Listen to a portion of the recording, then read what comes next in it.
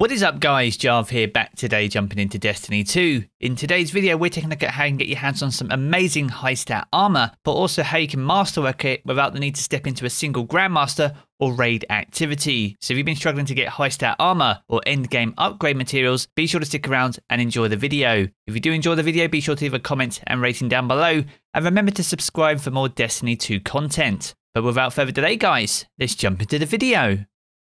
Now before we jump into the meat of today's video, I want to first invite you all to the Jarv Community Hub. This is a fast growing community Discord we have with nearly 4,500 amazing members. So if you'd like to talk about Destiny, share your stats, or just get a fire team together to get things done, be sure to jump in. It's available to absolutely everyone and the link to the community Discord can be found down in the video description below.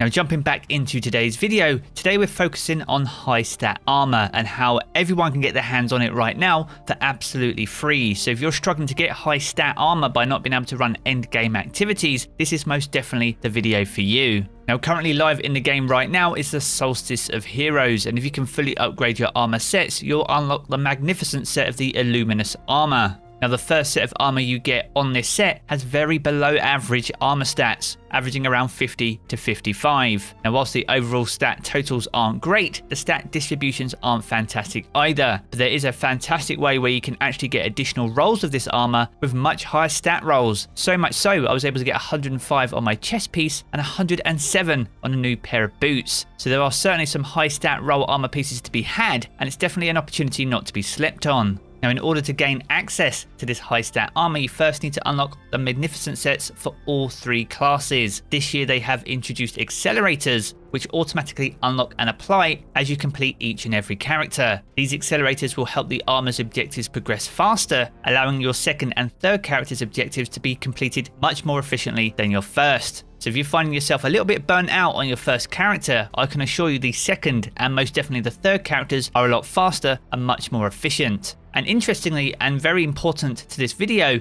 is the upgrades to the Solstice packages as you fully unlock magnificent sets for your additional characters. Once you've unlocked it on all three characters, you'll get the exotic Solstice package upgrade giving you the superior tier 2 upgrades. Now, this allows Solstice packages to drop armor with higher masterworks, but also have a higher chance for them to drop with higher stat rolls. Now this is absolutely key to getting high stat armors from this free event, which is available to absolutely everyone and is running through until the 3rd of August. Now once you fully unlock the Solstice package upgrades, you'll be able to take advantage of the European Aerial Zone. This is where the Solstice packages drop, and they drop randomly from the chests upon completing the activity. These will drop alongside Solstice key fragments, which once again are absolutely key, as you'll need these fragments in order to open the packages themselves. Now inside the packages you'll have a chance to get the Compass Rose shotgun, but the thing that we're focusing on is the high stat armor that they contain. Now to open the Solstice packages, you'll need 15 Solstice key fragments for each and every package. And what you'll find after a period of time is that you'll run out of key fragments as these have a much lower drop rate when compared to Solstice packages inside the EAZ. So if you find yourself with a surplus of Solstice packages, but very few keys to open them, what is the best source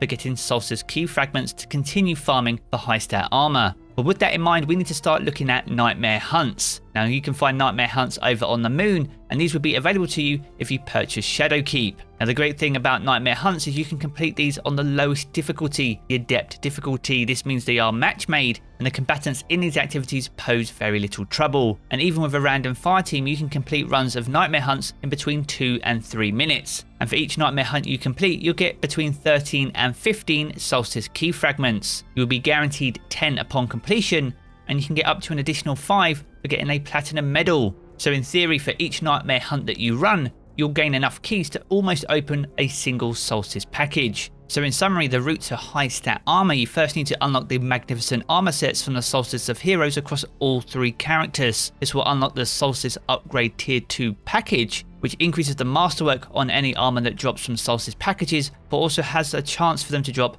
with high stat rolls. Once you have that unlocked, you can run the EAZ to your heart's content to unlock as many Solstice packages as you possibly can.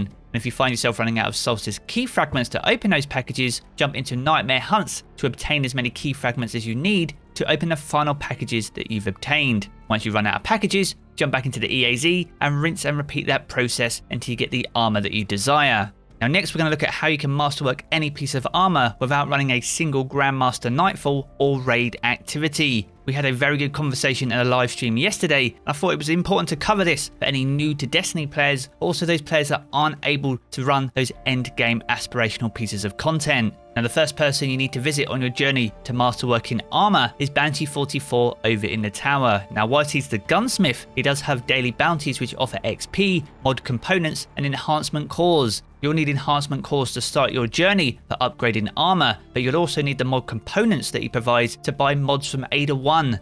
Now, Ada 1 returned in Season of the Splicer and she sells armor mods on a daily basis. These rotate upon the daily reset, and there are charged with light mods such as Radiant Light and Powerful Friends, which offer bonus stats to any armor piece when applied with another elemental mod. These will help boost your overall armor stats massively and can transform your armor builds inside Destiny 2. So most definitely make sure you're paying her a visit on a regular basis and make sure you have enough mod components available to pick up any mods that she may be selling that you don't currently have. Now, as well as providing daily bounties at Banshee and also mods at Ada 1, both of these sell upgrade modules, enhancement prisms, and ascendant shards. Now, you can purchase these for a combination of enhancement cores, legendary shards, planetary materials, and glimmer. However, this can be an expensive exchange, so it's definitely not the recommended way to get your hands on these materials. There are alternative sources which are still available to you as a free to play player, or if you're not able to enter endgame activities. Now, one of those activities is the Nightfall. You can complete this on the Adept or Hero difficulty. This week's Nightfall is the Inverted Spire, which is a free-to-play strike. So therefore, as long as you're at the relevant power level, you'll be able to enter it on the Adept or Hero difficulty, which are both match-made. Now, the Hero difficulty does drop enhancement cores on a more regular basis and has a chance to drop enhancement prisms too. So getting your hands on both of these materials in abundance will help make masterwork in any piece of armor an absolute breeze. Now with legendary shards, enhancement cores and enhancement prisms, you'll be able to masterwork a piece of armor up to 9 energy. Now to round out a full masterwork on a piece of armor, you'll need a single ascendant shard for a legendary piece of armor. Once again you can pick these up either from Banshee 44 over in the tower or Ada 1, but by far the easiest way to get your hands on them is actually via the season pass. There are actually three Ascendant Shards on the Season Pass alone this season. You'll find one at rank 80, the other at 85, and the final one at level 94. So if you have bought the Season Pass for this season and haven't yet hit Season rank level 100, be sure to pick up some bounties and complete some seasonal challenges to get your hands on some easy Ascendant Shards this season. So there we have it, a quick look at how you can get your hands on some high stat armor, but more importantly, how you can get your hands on those end game upgrade materials without having to step a single foot inside a Grandmaster Nightfall or a raid activity. Now if you've enjoyed the video, be sure to check out one of the two videos you see here in these cards for more Destiny 2 content. I'm going to jump back into the game as always guys and I will catch you all again very soon.